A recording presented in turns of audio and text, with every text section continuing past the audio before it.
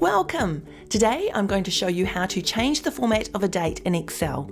We'll explore how to adjust the date format to match your location, create custom short and long date formats, and even how to include text alongside your dates. Okay, this is a fantastic tip. Let's get going. Hey, I'm Sharyn from Excel at Work, where we offer straightforward, non technical assistance to help you save time, work smarter, and improve your skills in Microsoft 365 applications. If you're eager to discover new ways to boost your productivity, or you simply love getting cool Microsoft 365 tips and tricks, don't forget to subscribe. Right, that's the intro over, let's get going. Right, let's look at how we can change date formats in Excel. So I'm just going to come up to cell A2 and here I'll just type in a date. So 22nd of May 2026. And I'm pressing my enter key. And of course, on my system, on my computer system as it is at the moment, I have my date format as a default of two digits for the day, then a slash, two digits for the month, then a slash, and then four digits for the year. Now, depending on where you're located, yours may look a little different. You may have month, then day, then year. So, this sometimes can be a bit of a struggle because if you receive or are working in a spreadsheet where the date isn't the default format for your location, you need to change the date format. So, I'm going to come down here, I'm going to click and drag over these dates, and let me just point out these dates are month, day, year. So, I want to switch them around. So now that I've selected them, one click on my right mouse button and down here to format cells. Right, Excel has already placed me on the number tab and I am looking at the date options. You're going to see, if I just move this over here, you're going to see that the first option in the sample box up here is the first cell that I selected. Now, down here in the type area, you will see different formats that you can apply over your selected text. And underneath here, it has your location. Now, at the moment, it's got English United States. I'm in New Zealand. So I'm going to click onto the option here and from here you can select your location. So I'm going to zoom to the top of the list because I know that English New Zealand is at the top here. Give it a click and I'm now going to click onto OK and look at that. Now, if your dates haven't changed, I've put a link in the description box below which will help you fix those dates. Right, come with me and I'm now going to go over to this area here and we're going to look at different short date formats. So we're currently looking at the default. I'm going to select over the existing dates. Okay, so I'm going to right click on here, come down to format cells, and Excel will place us on the number tab. Down here, we are on the date options and we have a list of different date formats that we can select and place over the top of our dates. Right, if I wanted to change from my default setting up here, I can have a click through and have a look at the different options that are available in here. Now, this option here, where you have year, month, and date with the dashes in between, is an option that we sometimes seek when we're wanting to save our file as a CSV file, and that file will be used to import that information into another system. So that's a goodie if you're looking for it. If I click onto OK, now we have our year dash month dash day. So good, right? Let's go have a look again. Okay, so you can have a good hunt through all of these and have a look at the different options that you will be given. So here we've got one character for the day, two characters for the month, and two characters for the year. But if you have a look through these and you can't find the exact format that you're looking for, you can come down here to custom. Now, once you're in custom, you will see in the type box here characters that are depicting the format of your date. So I'm just going to take these out and we will have a bit of a play. I'm pressing my delete key.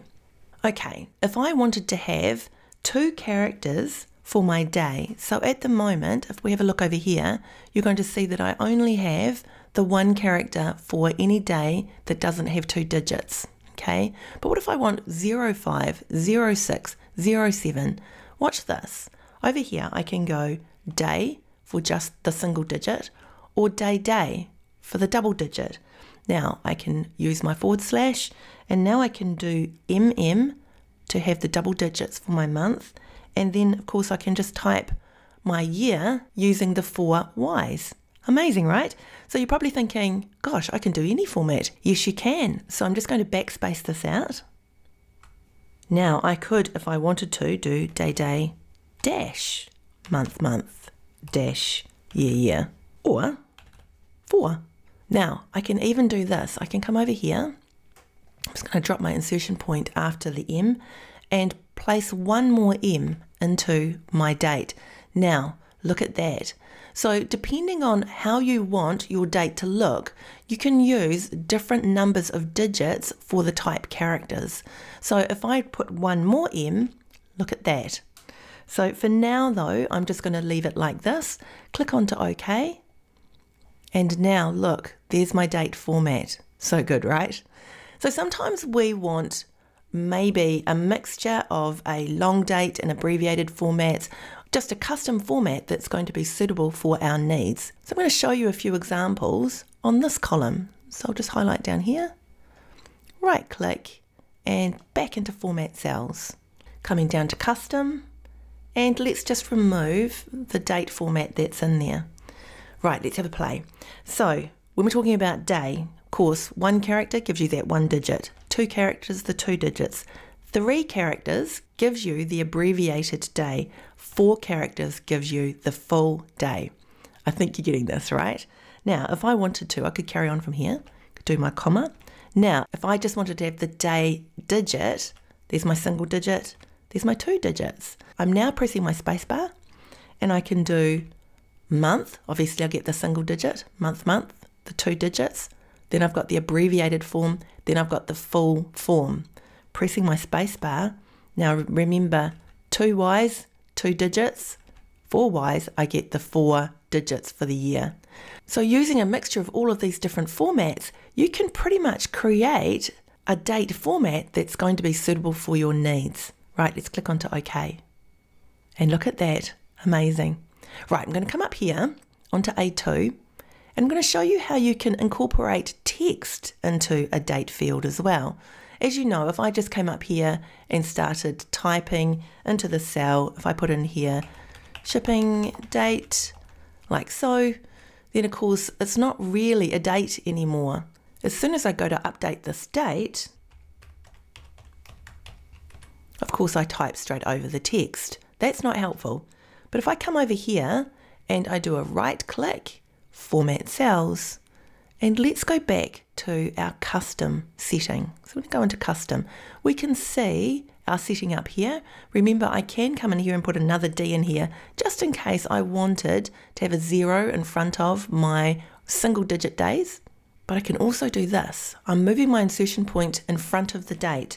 Now, I'm now using quote marks and I can put in here shipping, date, and then quote mark, space, look, you can see it up here, right? Click onto OK. And now we have the two morph together. We have shipping date and we have the date. But if I come over here now and I make this the 27th of the 6th, 2026, look at that. Amazing, right? That will just save you so much time if you are trying to have a cell that incorporates text with a date. Of course, all you need to do now is update the date and the text stays put. Now, I'm hoping this is going to save you a lot of time. If you enjoyed this tip, don't forget to hit the like button and subscribe. And if you enjoy tips, don't forget to subscribe to my weekly tips in the description box below. Take care. For videos on related topics, please visit my channel. For links to my courses or my weekly tips, check the description box below.